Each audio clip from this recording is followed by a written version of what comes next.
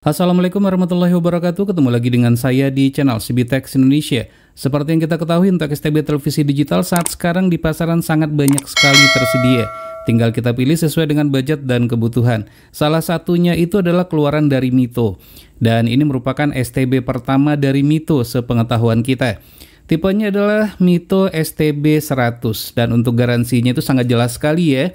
Harganya pun juga sangat terjangkau, garansi jelas, alamat service centernya pun pasti. Jadi tinggal dipilih saja nanti jika terkendala, terjadinya kerusakan, dikirim saja ke service center yang alamatnya atau lokasinya terdekat dengan tempat tinggal kita masing-masing. Nah, chipsetnya itu menggunakan SunPlus. Jadi bagi teman-teman yang ingin tahu chipsetnya itu, ini chipsetnya adalah SunPlus. STB-nya secara desain kurang lebih sama saja ya, seperti kebanyakan STB televisi digital yang lainnya. Nah, seperti yang kita lihat ini.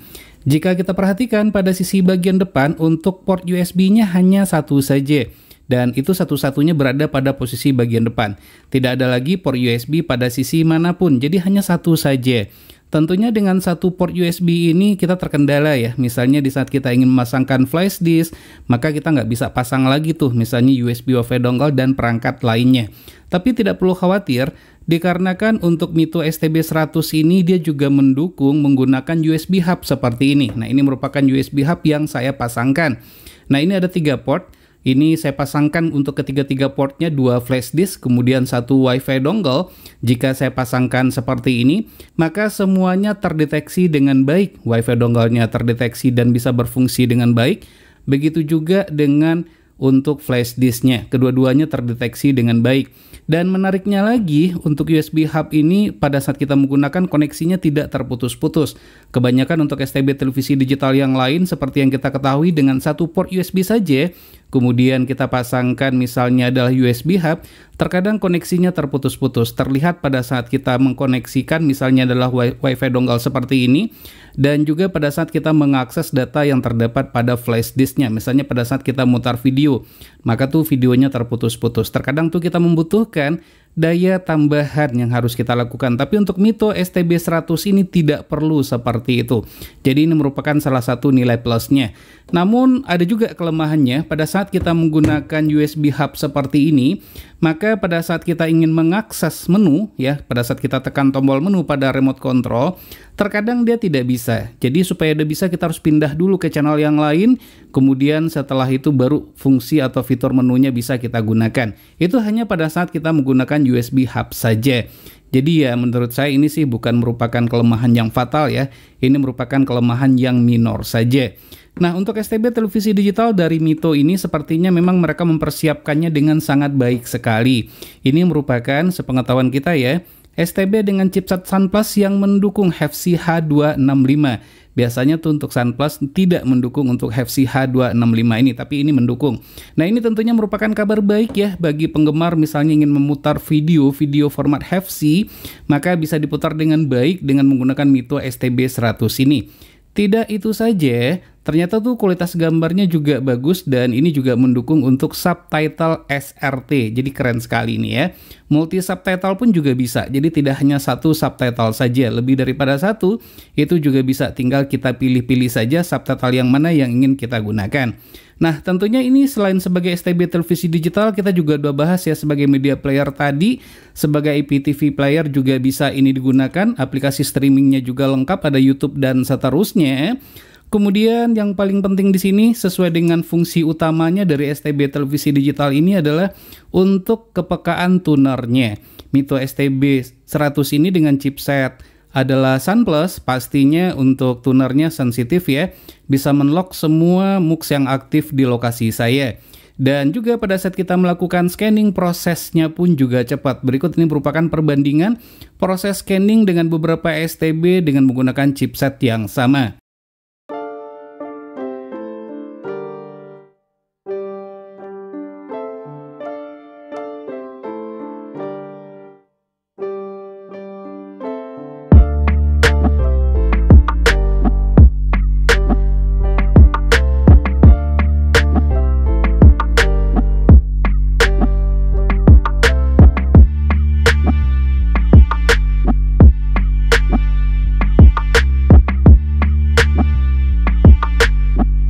Nah, terlihat ternyata waktu yang dibutuhkan tidak begitu lama ya, cukup cepat juga. Kemudian untuk suara, ini dia sudah mendukung Dolby Audio. Namun pada saat kita memutar file video terkadang tuh bukan terkadang ya Suaranya itu over volume atau suaranya itu pecah Tapi ini bisa diatasi dengan sangat mudah sekali Tinggal melakukan setting pada HDMI audio di set dari PCM dipindahkan ke RAW Maka yang suaranya yang tadinya pecah menjadi tidak pecah lagi Nah, untuk kualitas gambar berikut kita perlihatkan ya bagaimana kualitas gambar dari Mito STB 100 ini dibandingkan dengan STB yang lain dengan chipset yang sama.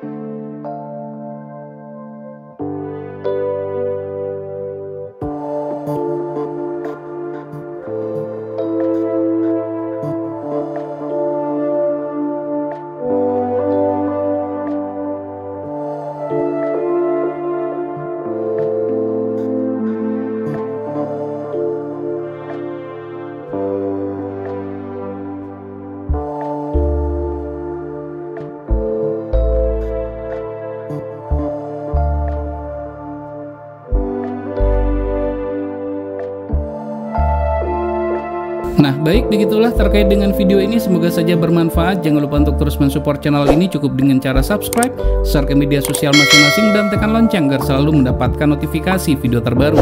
Terima kasih, sampai ketemu lagi di video berikutnya.